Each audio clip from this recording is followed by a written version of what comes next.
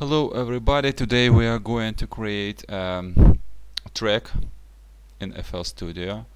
Basically it, it's a cover of Portishead SOS. Uh, we are using here only uh, internal plugins like Sytrus and um, basic kick, clap, hat and snare. Uh, nothing elsewhere, only default FL Studio plugins. And you will see that we easily can create a Moog like sounds uh, analog like sounds uh, and uh, leads and so on. They will all sound really fat and uh, great. And uh, I think there is no need to buy um, expensive equipment to achieve the sound because it's a matter of knowledge knowledge. You um, you only need to know how to create sounds. And the source is not so really important. Okay let's listen to the tracks first. The track is uh, really simple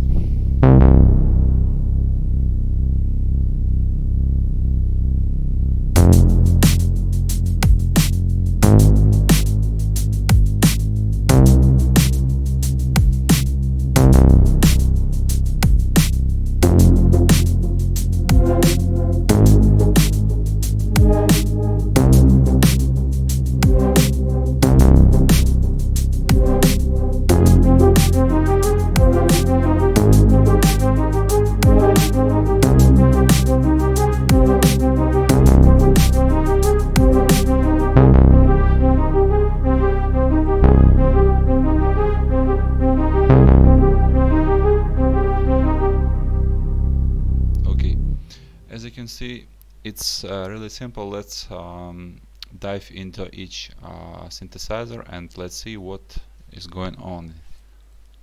Okay uh, the first one is bass. Uh, I'm using here two oscillators or operators call it in Sytrus um, pitch almost two octaves and uh, the second one is octave one octave lower with uh, little fluctuation yes uh, in pitch. So here is 50 and here is minus 20 okay. Uh, I'm also using an LFO on uh, this oscillator. It slightly um, pushes uh, pitch up and down so it will create nice fluctuation like this. As you can see yes. Dissonating a little okay.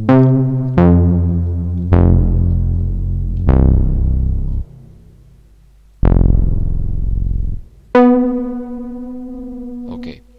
So it's clear yes. It goes to the first filter and I'm using here uh, envelope on cut of the filter and LP2 low pass filter 2 and uh, multiply it on 2 okay uh, both uh, also I'm using a slight uh, frequency frequency modulation from second operator. Uh, it adds some some character but it's not uh, really needed. Okay. Bass that's the bass okay let's go to the chords let's uh, listen how they sound.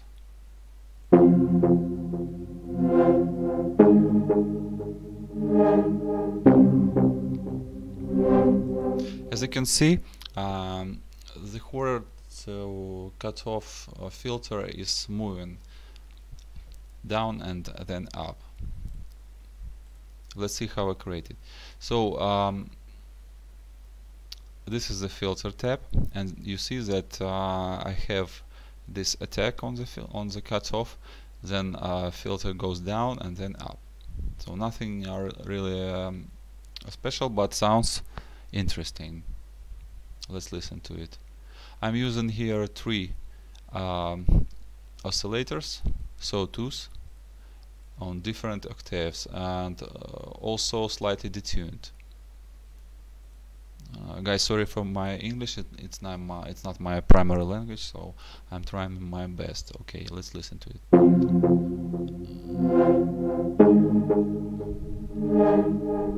Okay.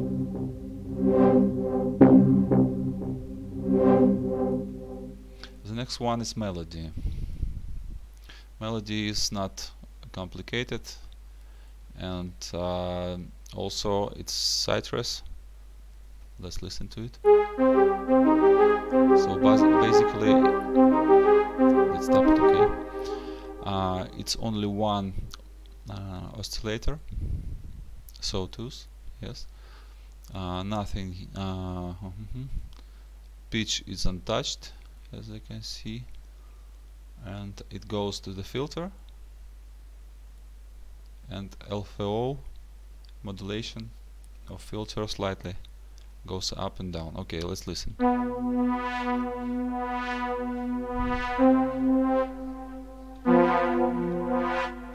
Okay, this is um, almost forgot to show you effects. So um, I think that it's really important to post-process your sounds. You can use um, Sytrus um, really great thing I love it. But if you don't do post-processing uh, everything will be will sound just raw. So I'm using a chorus reverb and EQ EQ is really important. I'm also using it um, especially this one on everywhere. On master channel also I'm using equalizer. So slightly cutting low uh, frequencies and boosting high frequencies. Uh, this things looks like this and also a delay. So um, on leads I, I'm usually using chorus, some kind of um, modulation, equalizer, reverbs and delay. Uh, this is simple inserts, I didn't want to use uh, send uh, send send uh, channels for it. Just for uh, just for tutorial. Uh, I think it's not important. Okay, let's uh, listen to the whole track. Ah, no, sorry. Bass effects on bass. it's fruity convolver. It's like a reverb, and that's all. On course I'm using fifth track here. Delay overdrive. I'm slightly um, adjusted this value of preamp and lowered post gain nothing else changed. Uh, also a delay fruity delay too and eq equalizer.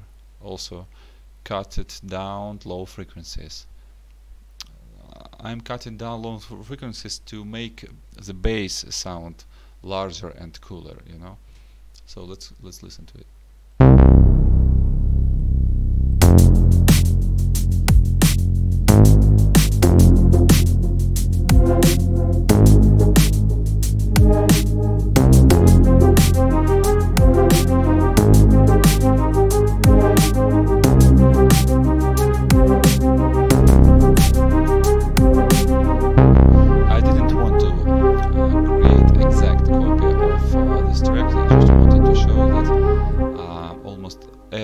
is possible in FL Studio and you basically create a working demo in it and uh, even a production ready um, um, music. Um, so that's all. Oh um, sorry master channel yes. I'm also using a default fruity limiter. I'm, I'm here playing only with gain and equalizer as I show. Okay please leave your comments uh, comments if you want to see more videos or tutorials about advanced uh, using um, FL Studio maybe basic stuff you want to know I I'm very I will be happy to share with you with my knowledge knowledge. Uh, I was working in FL Studio more than 10 years and uh, I have a huge experience with uh, sound design creating and this track particularly was created in about 15 or 30 minutes. It's not so uh, hard to, to make the sounds. And uh, I think that you don't really need to download or buy expensive hardware or install some plugins to get um, Moog-like sounds or vintage-like sounds okay? Uh, have a nice day day uh, subscribe also and good luck